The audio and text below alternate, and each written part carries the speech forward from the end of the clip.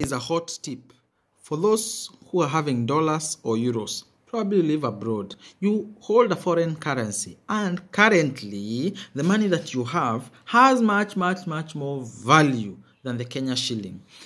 How do you make money while the sun is shining. Here we are talking about a hot tip on how you can be able to make good money if you have dollars or euros or, or Qatari dinari or other currencies that have much more value.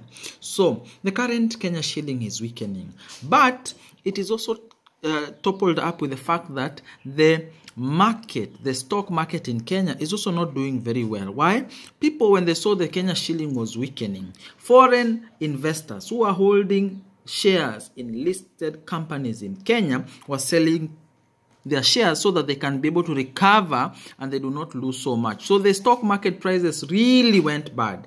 And this is where you make money. You make money by simply selling your dollars or your euros or whatnot.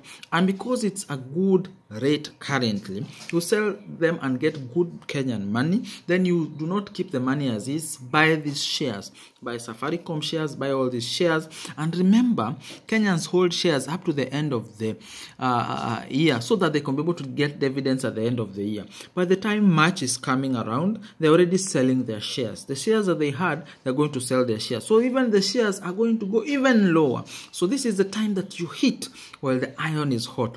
Remember, the biggest tip that you can always have with stock market is this. When people are greedy, be fearful.